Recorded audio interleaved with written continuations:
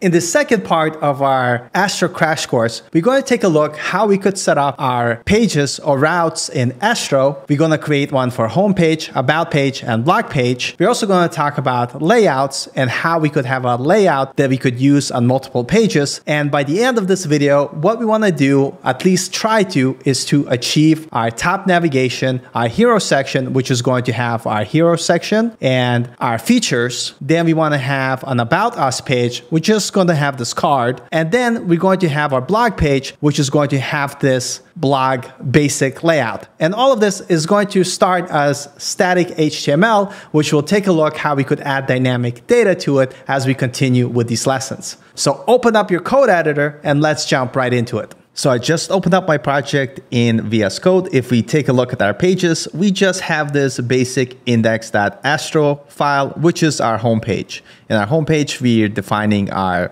HTML templating with our content. We do have a button. And in the previous lesson, we talked about the front matter, which runs on build time where you're able to add JavaScript, but then it will be stripped away once everything built, but you will be able to get the use of that data. We also talked about how to style your application within style tags, and we did add Tailwind, which is awesome. And more importantly, if you wanted client-side JavaScript, you could write vanilla JavaScript between the script tags. And if you take a look at our application, this is what we have so far. Not cool at all, but that's a start. If we click the button, we at least know our JavaScript works. So the goal today is we're going to talk about creating our additional pages, about page, our blog page, and we're going to add this static uh, HTML, which I will provide all the code snippets and go from there. In our code editor, what I'm going to do, I'm to I'm going to rename this to example, so we keep it here, and I'm going to go ahead just copy all of this right now to make my life easier and create a new file called index.astro and I'm going to go ahead paste that in. And for now, I'm going to remove all of this and remove this. And I'm just going to call this our home page. And we're going to just keep the styling and the script tag blank. My project is running. So if I refresh here, we could see our homepage. Here's an interesting thing. If I go to example, you're going to see our old example page. So that's basically how routing works. It uses file-based routing. So whatever name you give here, that Astro will be the route name. And there's two ways to do it. You could either keep it inline file like so. For instance, if I want to create a new page, I could say about Astro. And I'm going to just paste in that basic uh, template here. And we're going to say about page. And you could also create a page by creating a folder, and let's say we'll call it blog, and we'll keep both examples. And inside here, we're gonna create a new file called index.astro, and I'm gonna paste my snippet here, and I'm going to say blog page. And so now we have our routes. We have our homepage, we have our about page, and we have our blog page. So let's take a look. So if I go to the root of the project, we have our homepage. If I type about, we have our about page. And if I type blog, we have our blog page. Perfect. So to recap, the way you create routes is inside your pages folder, you will either add the names of the file and these files would be your routes. Or if you wanted to use a folder, you would use the folder name and inside there you would put your index astro file, which is pretty cool.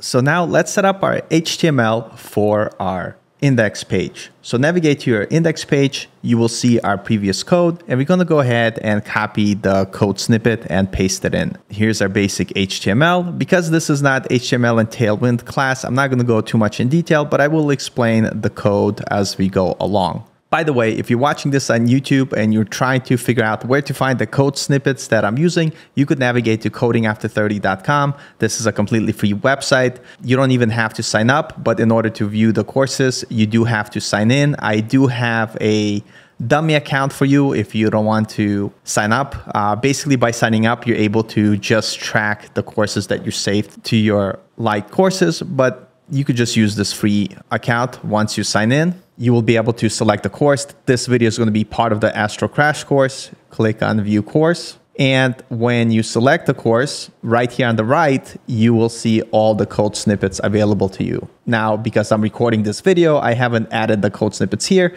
but this is where you're going to be able to find it. Back to the tutorial. Looking through our code here, we set our HTML head where we have some basic information here. Let's call this homepage. And right now everything is going to be hard coded, but we'll get back to this to see how we could use variables and make this dynamic on build time. And our sections, we have our top navigation, we have our hero section, and we have our feature section feel free to explore the HTML on your own. But if we navigate back to our index page, you will see our top navigation, you will see our hero section and our feature section. Taking a look in our navigation section, you see that we're just using an anchor tag and we're passing the path to where we want to redirect via the href attribute. So if you click on home, we'll go back to root. If you click on about, we go back to about. If you click on blog, we are going to be redirected to the blog page.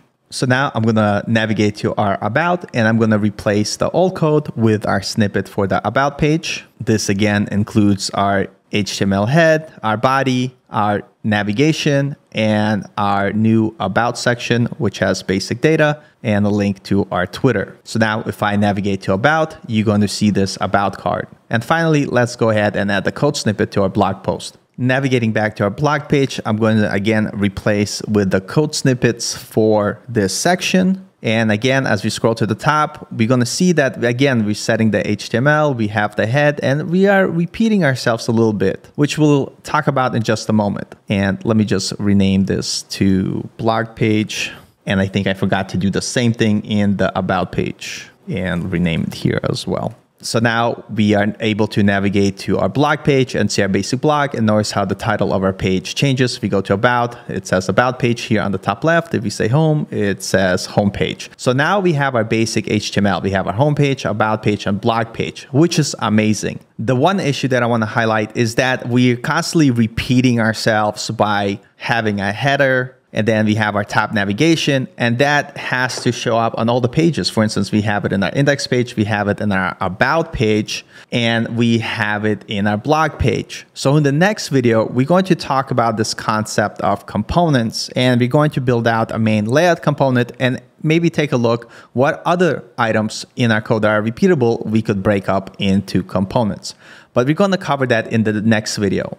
So give yourself a big, nice round of applause. We made some progress. To recap, we took a look how to set up routes in Astro and how we could use JSX-like syntax, which very closely resembles HTML with some minor differences that we'll take a look in the next video. What, what's awesome, you're able to find a cool template. In our case, we found a template that uses Tailwind and apply directly to your project, or you could write the HTML and CSS yourself, which is pretty cool. And again, congrats, we have our amazing homepage, about page, and blog page. But with that being said, I will see you all in the next video.